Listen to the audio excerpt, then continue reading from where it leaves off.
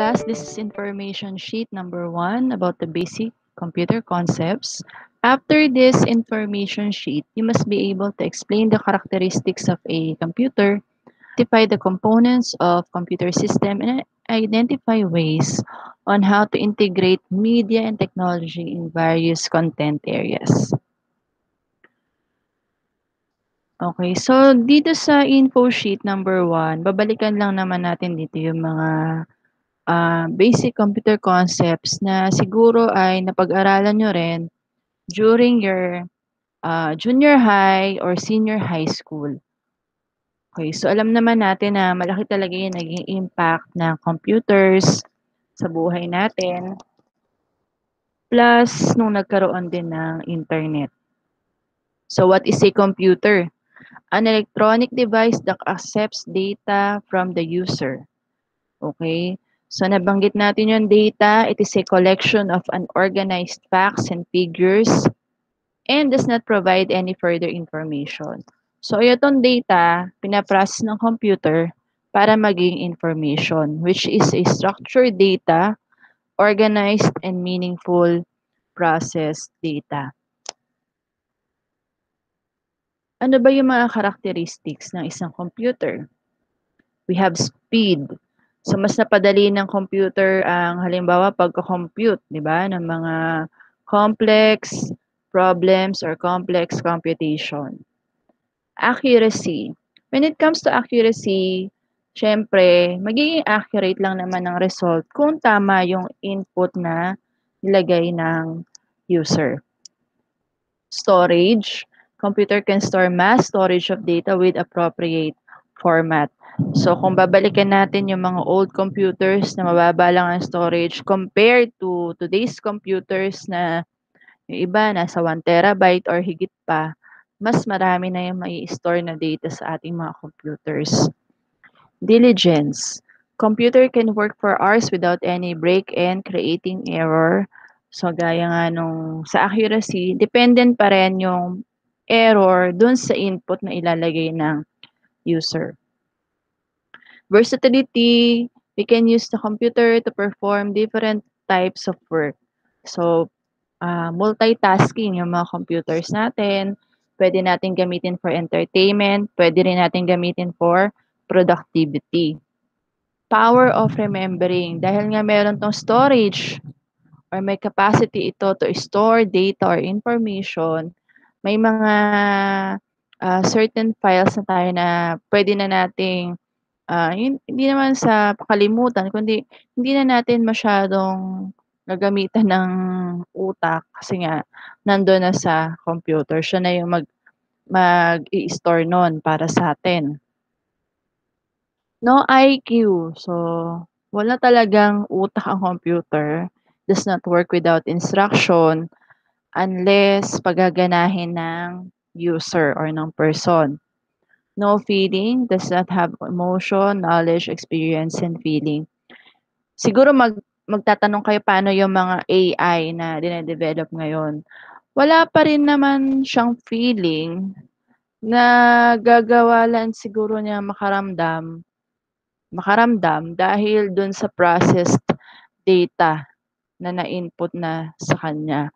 Kumbaga, uh, yung program na in-install dun sa, ba, sa isang particular computer, ganun na siya ka-complex to the point na kala natin meron ng emotion or nakakapag-isip na yung computer. So, there are different classifications of computer. Babalikan lang natin ang mabilisan ito by size, by type, and by purpose. When we say by size, syempre kung yung capacity na nai-store ng computer. So, dito sa by size, meron tayong microcomputer, mini computer, mainframe computer, and supercomputer. So, yung microcomputers, yun yung mga personal computers na ginagamit natin like the laptops, desktop, yung mga smartphones, or any gadgets na ginagawa nat ginagamit natin for personal use. Then, the mini and the mainframe computer, halos pareho lang ang function nila, usually for database handling. Pero, syempre, mas malaki yung capacity ng mainframe compared sa mini computer.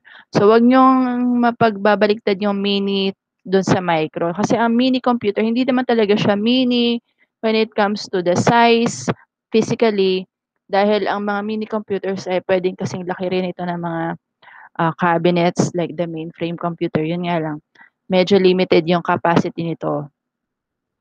And of course, the su- supercomputer are the fastest computers na ginagamit ng mga uh, NASA, mga weather forecast stations. Yan. Okay, so yan yung mga difference between the computers by size. Next, computer by type, we have the analog, digital, and hybrid. So, yung mga analog computers, yun yung mga sinaunang computers na wala pang masyadong electronic, more on mechanical lang. So, example is the needle clock. Okay? Digital computers, yan yung mga ginagamit natin ngayon. Yung mga laptops and smartphones are considered as digital computers. Siyempre, pag sinabi nating hybrid, ito naman ay combination ng analog and digital computers. Kadalasan yung mga um, ginagamit ng mga computers sa hospitals are hybrid and a basic example that we have here is the smartwatch na pwede natin consider as hybrid computer kasi yung uh, smartwatch 'di ba analog halimbawa yung data na nakukuha niya sa atin tapos nagre-release siya ng digital output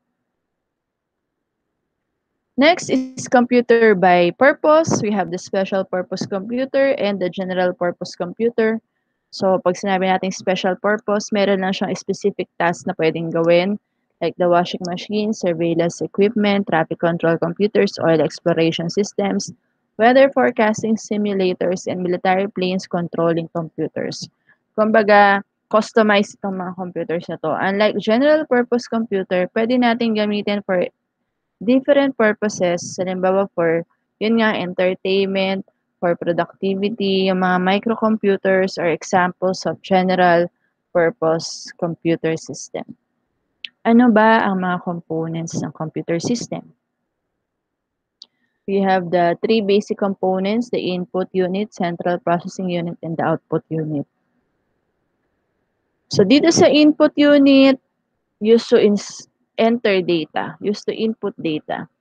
So, yung mga details ng input unit, madidiscuss or malalaman ninyo sa information sheet number 3. Next is the central processing unit. So, dito nangyayari yung processing of data para ma-convert into information. So, meron three elements ng CPU or Central Processing Unit. Yung memory unit, so once a user enters data using input, yung computer, i-install, install, store muna niya yung data dun sa memory unit. Hanggang sa ma-process siya, nandun muna siya. So, once na na-process na, yan, pwede na siyang mawala doon and ma-transfer na siya halimbawa sa isang storage device. Arithmetic and Logic Unit or ALU, ito naman yung nagpe-perform ng mga arithmetic or basic mathematical calculations, pati yung mga logical functions, katulad ng pagka-compare ng data. Control unit, dito naman, sabi nga dyan, backbone of computers dahil responsible for coordinating tasks between all components of a computer system. So, yung hardware, software components, yung control unit ang nagmamanage nun. Okay? Then, the output unit. So, para makita natin or maintindihan natin yung process data or your information, syempre, dapat i-display yan sa atin. Pwedeng through monitor, through print, or through sound. Yan yung mga output unit. Elements of a computer system. So, we have six main elements. Yung hardware, yan yung mga physical elements ng computer system which will be discussed further in information sheet number 3. Yung software naman, yan yung mga programs installed inside the computer that helps the user na ma-process yung data or makapag-interact sa computer which will also be further discussed in information sheet number 5. people, of course, baliwala naman ang computer hardware and computer software kung walang user na tao, di ba? So, tayo yung nag interact with the computer. So, pwedeng mga programmers or yung mga professionals na gumagawa ng mga programs. Pwede rin yung mga systems analyst na siyang nagpa-process or nagde-design ng data processing. And yung end users. So, marami tayong end users o yung tinatawag din na operators na tayo yung madalas na gumagamit din ng computer. Procedures related sa software. So, set of instructions written in code to instruct a computer on how to perform a task. Run a software or do calculations. So, meron tayo tinatawag na hardware-oriented procedure. So, kumbaga, procedure ito para mapagana yung mga hardware components na computer. Software-oriented procedure naman, para naman sa mga software uh, components ng ating computer. Internal procedures, the direct flow of information and the sequence of data. So, more on the central processing unit naman itong internal procedure.